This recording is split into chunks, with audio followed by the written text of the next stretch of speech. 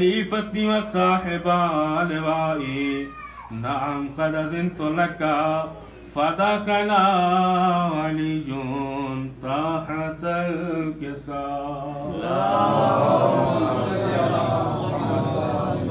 ثم أتيت نحو الكساء وقلت السلام عليك يا أبتاه يا رسول الله.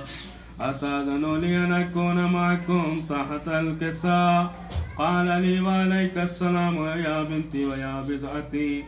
قد أذنت لك فدخلت تحت الكساء.